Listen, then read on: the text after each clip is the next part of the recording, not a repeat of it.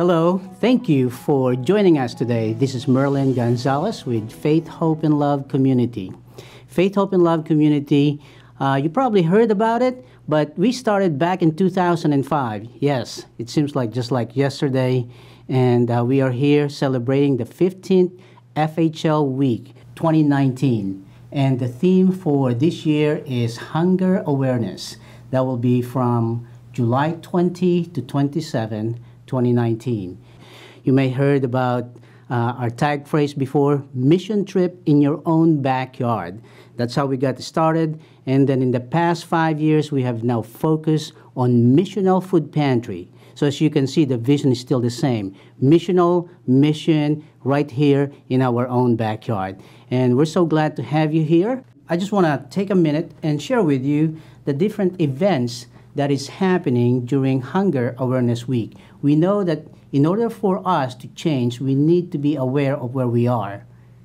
In order for us to go where we want to go, we want to see where the starting point is. And that's why we want Indianapolis to understand that hunger is for real in Indianapolis. One out of nine in United States uh, are hungry. That's about 42 million people. Can you imagine that? 42 million in the greatest country in the world. Now, it's worse in the Hoosier land, which is one out of six, or about 910,000 people. Think about 910,000 people in just one state, our state. Actually, Indianapolis was labeled as one of the largest food deserts in the nation. Do you know that? That's why we're, we're trying to put together this hunger awareness. People need to know that in the land of plenty, is also a land of waste. And out of that, the casualties are the people who are hungry, millions of people all over the United States.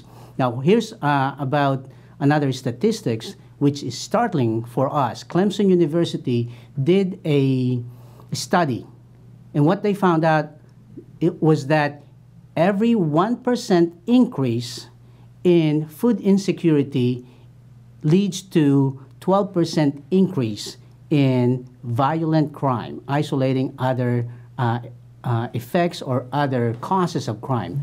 Imagine that. So, really, hunger affects not just the hungry people, hunger affects the entire society because we're dealing about uh, the basic human need, which is food. And when things become desperate, when you take away the basic, a basic human need in, in a certain person's life, desperate thing might happen.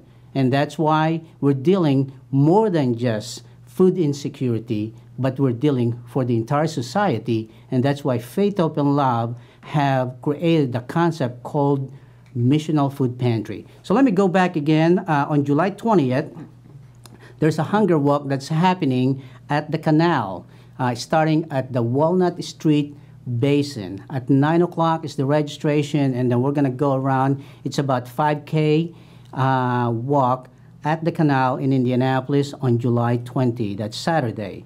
Then the following day is directed for the religious organizations, uh, churches, which is prayer walk.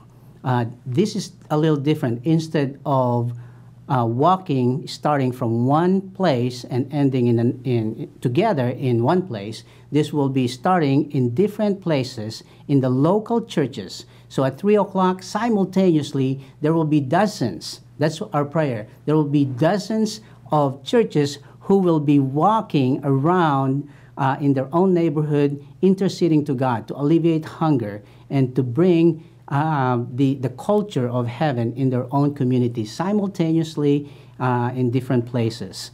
So that's the prayer walk. And then we do have the hunger challenge. We call it 001 challenge. That's because uh, a person will be eating um, no breakfast, no lunch, and then a dinner. This is really how to experience being hungry. And we know that hunger is beyond the growling stomach. When you feel hungry, I don't know about you, but once I, I feel hungry, I, I feel like I'm shaky. Don't talk to me. All I think is about food. And uh, can you imagine the effect of that? If you're hungry, you go to a um, uh, to work, and you're grumpy, and say, for example, you're driving heavy machinery and something happened, I mean, that, that, that could cost not just profitability of businesses, economy of the entire uh, state, but also the, the people who are affected by hunger. So uh, we will be doing that from Monday through Friday, July 22 to 26. And we will also be walking from one food pantry to another. A group of uh, us will be walking from one food pantry to another. And then lastly, hunger awareness community gathering at 1100 West 42nd Street parking lot. That's at Interchurch. And this one is uh, dedicated for the neighborhood. There will be uh, former Colts players going to be playing with kids. We will have food trucks. We will have garage sale. And again, it's intended to bring more awareness as far as what's happening in our own community, Hunger Awareness Week, which is July 20 to 27. I would like to uh, introduce Minister Lydia Davis. I am the Missional Food Pantry Director for Faith, Hope, and Love community. And I'm also um, the Missions Outreach and Discipleship Minister at Barnes United Methodist Church. Our Missional food pantry there is the You Feed Them Missional Food Pantry. So you feed them Missional food pantry. How'd you come up with that? Well, based on scripture, um, Matthew 14, 15, 16, when Jesus told the disciples that uh, when the disciples wanted Jesus to send the crowd away because they were hungry, let them go buy food, mm-hmm. Jesus told the disciples, No, you feed them. And basically, that's where I got the um, inspiration. The Lord gave me that for our missional pantry, and that we have the resources to feed the people ourselves. A lot don't have the resources, especially economically, to be able to go and buy groceries. And also in our community, we don't have um, a grocery store for them to get to um, uh, easier, easy enough for them. So, so uh, you said about community and neighborhood. Tell us what zip code is that? What's the neighborhood look like? And what is the role of missional food pantry in that neighborhood? Well, Merlin, our zip code is 46208. It's considered the um, United Northwest area of Indianapolis. And in that community, um, there is, is considered one of the highest rated food deserts, food insecure, economically insecure um, deserts in the community. What it looks like is that we, we don't just dre- address physical needs, we feed spiritual, emotional, mental, and physical food.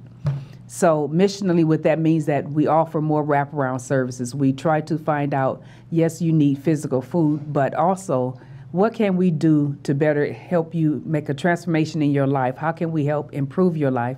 And that means sitting down and finding out what is your, where are you at spiritually? Because after all, we are a church. Where are you spiritually? Where are you um, emotionally? What other needs do you have so that we can come alongside and refer you out and b- build community partnership with community resources that we can offer to help you improve your life in the community or in, in your family lives.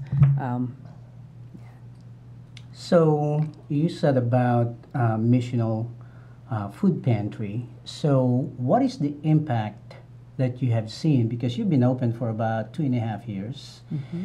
And what is the difference with this kind of food pantry and what is the impact that you're seeing? Okay, so there is a difference between our missional food pantries and our your traditional food pantries in that we focus on building relationships. The primary key in order to be able to help sustain um, the impact into other people's lives is the relationship piece. So if I don't have a relationship with you and I don't trust you that well, then I'm not going to share what my greater needs are beyond just food. What is my deeper hunger? What is it that I need? Is it job? Is it, are you in an abusive situation? Do you need a home? A lot of our clients are homeless. Um, what are those needs? So we focus on relationships our clients, our guests, they never see the actual pantry, the fulfillment center. They don't see the food. We don't distract them with the food. However, they get to leave with eight, nine, ten bags of groceries. What we focus on is sitting down with you and developing that relationship, and we foster that throughout the entire month. Which is why we're only open, which is why we're only open once a month. So I'd like to get back to that a little mm-hmm. later uh, regarding the relationship, how you build relationship in the context of food pantry, mm-hmm. and also as the uh, food um, missional food pantry director for Faith, Hope, and Love, and you teach food pantries uh, how to do that, how to become relational, and wraparound services and the impact. So we'll we'll we'll go back to that, but I'd like to reintroduce uh, Chaplain Sean Israel. So tell us um, your your mission and also your mission field. Yes, um, I am a spiritual director over the Indie Vineyard Missional Food Pantry. And we're located, our zip code is 46250. We're located in the northeast side of Indianapolis in the Castleton area. Um, not only do we have a food pantry that meets on the third Tuesday of every month from 6:30 to 8, uh, we also have a home group that we've established with the people that are coming to the food pantry. Um, they also uh, come for Bible study. We have an adult group that we hold, and we also have a children's group. And in those Bible studies, we're, we're able to build uh, relationships and also teach about the fundamentals of living in Christ with our adult and children Bible studies. What we're doing is we're building, uh, we're building relationships, and we're also encouraging growth in Christ.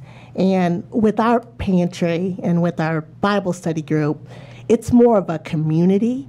Um, we're doing. We've been invited uh, and have attended uh, 15th birthday parties, which uh, we have a we have a significant Hispanic uh, population uh, with our pantry, and so um, it's more like a family. We've uh, attended uh, birthday parties, and um, we we had the children attend VBS at our church uh, last week, and it was it was it was awesome. We had kids getting healed and also um, confessing uh, Jesus as Lord. So it's been pretty pretty exciting to see all the growth um, that we have in our pantry. So uh, that is incredible. You said 15 birthday parties? Yes. So how do you build this kind of communities in a context of food pantry as being a missional Indie Vineyard Missional Food Pantry?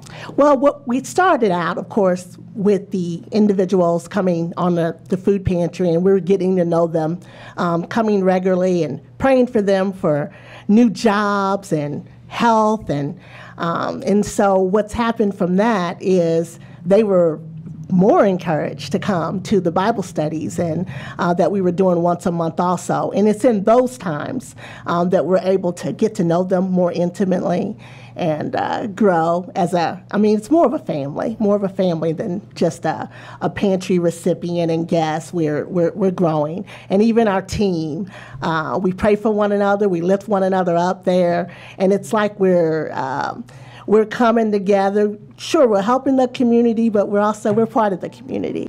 So Minister Lydia, you are you also have another role with Faith, Hope, and Love Community, and tell us about that and what's your what's your role, what's your title, and also uh, how do you do, do that, and um, as far as training and being in the community.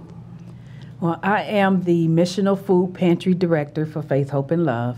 And I am one of the instructors and teachers. We help teach, we help launch, we help train new missional food pantries or relaunch missional food pantries. I go out to the churches, I build relationships with the with the volunteers as well as with the pastors, and I go in and I train, I, I teach the fundamental fundamental and the practical parts of um, as we call the nuts and bolts of the missional food pantry from the from the standing out in line of the clients to their interest and the entire flow of how the missional food pantry um, should function, work. I deal with the licensing and the shelving and everything that's required to actually launch the churches. And then follow up, I follow up and come alongside each of the missional food pantries after we've launched them. Um, so it's been such a reward to get to learn and develop relationships with other churches and their congregations and get to know their community and their guests. So um, you, you, your food pantry actually was a relaunch, mm-hmm. and recently Faith, Hope, and Love Community is uh, relaunching actually this week, yes. uh, relaunching another food pantry. How do you see the difference on that? What is the culture that you're trying to, to bring once you are talking about the nuts and bolts and, and the operations? One thing, especially in a relaunch of a pantry, you have to change the mindset of just serving the traditional pantry, serving the physical food. So you have to train to come alongside the volunteers and the leaders to get them to think more missionally. So um, the goal is to hopefully have them focus on what is it that Jesus has actually called us to do. To not just provide physical food, but how do we get the mindset that everyone is a disciple? Everyone must go out and, and nurture and come alongside the clients that are coming in. They're coming in for physical food, not realizing that they have a deeper hunger for more spiritual food. Mm-hmm. Yeah, so talking about spiritual food, um, Chaplain uh, Sean, so tell us a maybe a story or two about the families that, that you're visiting, 15 uh, birthday parties, and and you you said building a team that they are more than just volunteers. Tell us uh, maybe a story or two about okay, that. Okay, well, as as I said, we're building a team, and we are coming together to serve. Um, we had one instance last month. We were kind of um, we were low on uh, volunteers, and so we had a couple of a mother and daughter team, part of our home group as well, um, that came together and they said they wanted to help us uh, meet that need, and so they sat and prayed uh, with our pantry guests and, and did what we do for them. Uh, went went through that and we're really blessed by it. And so it's like they're they're more or less taking part of, of serving. So that's one example. Uh, we have um, the kids that when we get together, we have a missional um, outreach. So we had a group going uh, to um, I'm trying to think of Honduras. Uh, we had a group going to Honduras, and so we uh, wrote and, and sat with the kids and prayed and asked God to what can we say and do to encourage um, these kids in Honduras. And so they were able to write letters during our Bible time, and it's it's it's a community. I mean, it's we're we're looking at the world, not just not just here locally. Wow, so. that is that is very innovative, and I bet the children were really excited in writing letters across the world. Yes, they were really blessed by it. Yeah, Minister Lydia, your um, food pantry uh, at Barnes United Methodist, uh, you started a, a culture of baptizing people at the food pantry. Can you tell us about that? Yes, um, we. I had felt that you know, while our clients are there now, while we're building a relationship, we're basically bringing together a community as a church. And so, not, what things that does not happen on Sundays is that in the last year, we've had over 300 salvations. Wait, wait, wait a minute. Over 300 salvations? Yes, since we've launched our missional food pantry, we've in had a food over pantry. in a food pantry. That doesn't happen on a Sunday Sunday service. But also during that, I felt that if you could go to the hospital and someone uh, accept Jesus Christ as their Lord and Savior, and they want to be baptized, you do not get them out of their hospital bed to try to go find a body of water to baptize them. So we started baptizing during our missional food pantry, and praise God, we've had for baptism in the since we've launched 13 baptisms in the front in the wow. in the midst of their peers, in the midst of the food pantry. And as a result, there were some that actually said, "Well, what what are they doing?" And so there's been one or two that learned about what baptism was, asked about it, and then they were also baptized right then. And we, our mayor came to our first year anniversary, and he actually was there to witness three of the baptisms. That is amazing. So we have salvations, we have baptisms, we have team building, we are we have building communities, birthday parties, and things. Wow! So this is more than just missional, uh, more than just a food pantry. This is really missional. So I, I thank both of you for for being with us today, and what a blessing to hear those stories.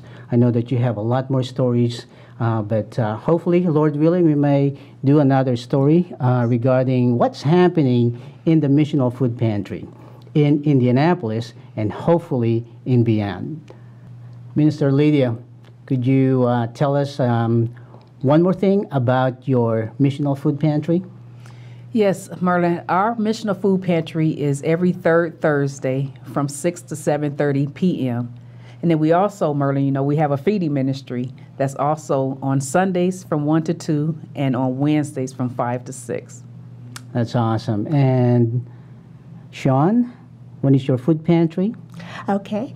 Um, our food pantry is the third uh, Tuesday of every month from 6:30 to 8. We also have a our home group meets our pantry Bible study. That is on the second Tuesday of every uh, month, and that is from 6:45 uh, to 8 o'clock. Excellent. So in our next segment, we will have two other guests. That's Minister Donna and Missional Food Pantry Director Kim. We'll be right back. Here with me is Minister Donna Cherry. So tell us about what you do with Faith, Hope, and Love, and also uh, your recent experience as far as dealing and teaching churches about missional food pantry. Okay, thank you. Um, I really enjoy training the churches for the missional food pantries to prepare the ministry teams to minister to the recipients that come off the streets. They are so hungry. People are so hungry. And I'm just delighted to see that people are just excited to be able to minister, and the, and the recipients are definitely responding because we see a lot of people saved and healed and uh, receiving a lot from the Lord. So uh, you talk about uh, your, your main job is to train food pantries how to be able to uh, share the gospel, pray for people. Now, I don't, I don't know about you out there, but I talk to a lot of pastors. I meet a lot of pastors. I work with a lot of pastors. And when I tell them about uh, this is Missional Food Pantry, we pray for people, and many of them, majority of them, will say that's not going to happen in our food pantry. So, with that in mind, how how do you train and and what's the the, the culture shift that that you do in order for um, the, the public or the uh, food insecure to receive prayer because you know you tell us also as far as the percentage of who receive prayer in a food pantry when we come off the they come off the streets the recipients come off the streets they are given a form for their food, and it is sent right away to the area that will put the food together. So while we are waiting for that, they already know that they are going to receive food. So they know that the, the next time that they come to our table, they are to open to receive ministry. So at first, they don't know that they're going to receive ministry.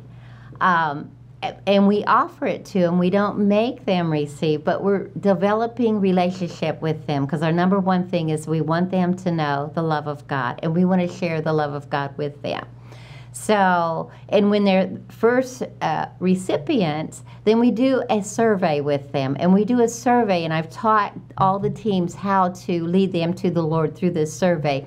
And so it will identify their receptivity to the gospel. And if they are ready because the bible says that that the harvest is ready and it is white and ready to to come into the lord to receive christ. So after we do that survey we find out right away where their spiritual condition is. And many times we lead them to the lord. And many times there's very few times that they do not want to receive prayer and receive a touch from the Lord. And then we disciple them. We have a discipleship book that we can further disciple them every time that they come back to the food pantries. They receive more of the love of God. They re- develop relationships with each other, and they are sent off, and then we will follow up after afterwards. Wow. Yeah. So you have survey, you share uh, the gospel, you disciple. So, in the context of missional food pantry, you have discipleship, you have outreach, which is giving away food, and then the other pillar is also uh, evangelism. So, again, in, in, in a food pantry, a church can have and evangelize and empower and disciple people, and at the same time, reach out to the greater uh, community. So, how does that work for you, uh, Kim? You're the uh, Missional Food Pantry Director at the Father's Table. Tell us about um, your team. I know that you were a, um, a, a, relaunch. Tell us first about what happened uh, in that transition. Okay, so we did have a traditional food pantry for a couple of years, and we were dwindling in volunteers. We were going to probably have to either shut the food pantry or um, take a different route. And the Lord put it on my mind because of my relationship with Donna, who I've known for 22 years. And I had met Merlin in the past at different um, prayer initiatives. And so I call, I asked Pastor, I said, can I call Merlin Gonzalez and just find out what kind of training that we can get to train our mission, our food pantry volunteers to do more for the people who come in who want food. And that's what happened. Um, the, Lord, the Lord just really just opened up one door after another to provide us more training, um, more resources, and now we just have a whole new culture in our church um, because of finding our place, each person being able to use the gifts that God's given them. And that's what was really exciting about our um, new missional food pantry, whether your gifting is in prayer and evangelism, or perhaps you're just a friendly person with a smile. Um, maybe you're a behind the scenes person who really just likes bagging the groceries. And so that was really exciting for us is to have probably in a congregation of about maybe 75 people, we have 40 or more volunteers each time our food pantry is open. That is amazing. So now you're talking about really um, bringing different culture and, and bringing uh, a fresh of breath air in, in the congregation with the missional food pantry. So now we're talking about more than just giving away food, more than just uh, evangelism, discipleship, outreach, but also changing the culture in, in the church. So, how does that work? How does that look like in uh, your, your, your church? When people come to the food pantry, they will see families working together. And we have a lot of children um, who come along with their parents to volunteer um, my nephew, who's only six years old, will come and work in the fulfillment center bagging groceries, and he is so excited to be able to do that. We also have in the fresh and frozen area, we'll have a volunteer, and he'll have a couple of um, children working with him. And so we really are having mentorship within our body to teach the younger children how to minister and, and serve in the community. Wow, that is uh, amazing. So, uh, Donna, you are the um, prayer director and you teach uh, how congregation or the uh, missional food pantry volunteers reach out to uh, the um, the public. So, what does it mean for you to see the transformation that happens from the volunteers' point of view, and also the transformation that happened when this volunteer, after you train them, they become bold and, as you mentioned earlier, uh, lead people to the Lord. Merlin, I think that's one of the most exciting things about this model, which I don't believe that there's another model like this in the United States that we have found. Um, with this model, the people really would love to receive uh, ministry, but as we train the churches and the volunteers, they do become bolder. They start out really hesitant, they start out fearful, but we do hands on training to at our uh, model uh, food pantries where we can do hands-on training where they can minister alongside with another minister.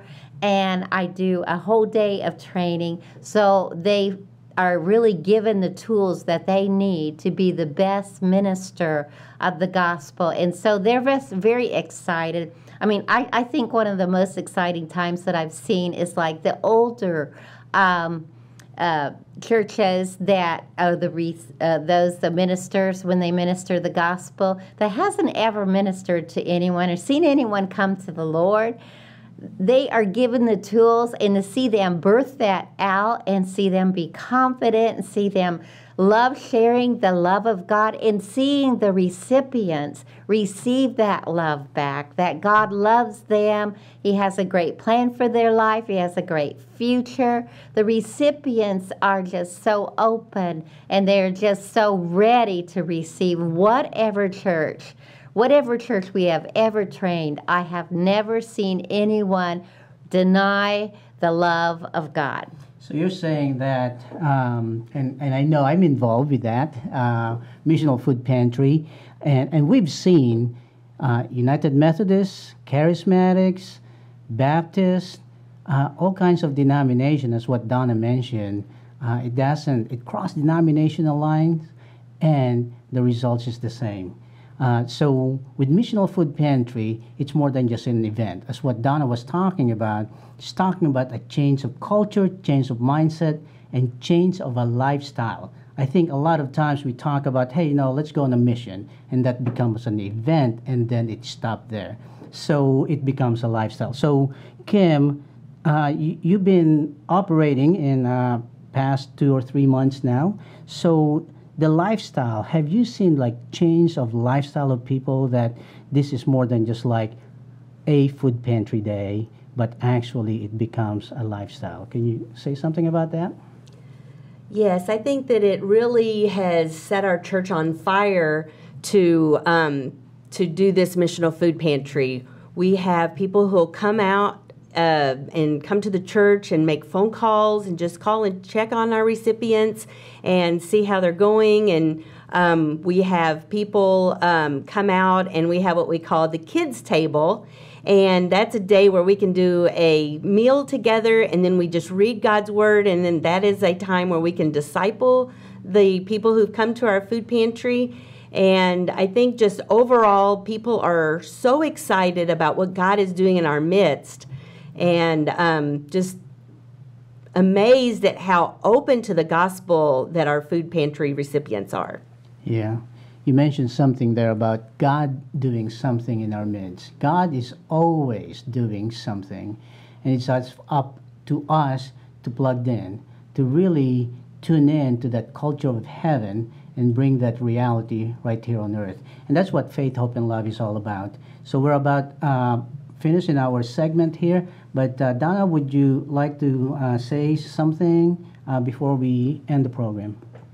Yes, Merlin, I just want to say a quick testimony of one of the fellows that came in off the streets. It was awesome. Um, he came off the streets and he saw, as Minister Lydia says, that they do baptisms. He saw someone getting baptized and he wanted to get baptized right away. And what we found out was that he actually had people that was going after him, trying to shoot him, trying to kill him. And so he wanted to get as close as he could to the Lord. And so he was he is one of our most favorite re- recipients. We've developed relationships with him. He received the Lord. He got he got baptized that day. We saw transformation take place and he just recently told me that they are no longer trying to destroy him and kill his life. And so we're seeing a great transformation take place of those that come off the streets. Just one initial little 5 minute 10 minute talk with them changed his life. He received everything we had to give him that day. Yeah, you mentioned something there, Donna, that it's more than just uh, output, which is most of the time we measure our success by how many people we serve and how much food we give. But in the missional concept, it's the outcome, which is more, as what you mentioned, transformation. So, uh, Kim, any uh, last words from you? I know you have uh, one or two great stories also. I was just thinking of the story about a man who um, came over on his lunch break from work and he said, Can I just get some groceries real fast? And so um, Minister Donna was.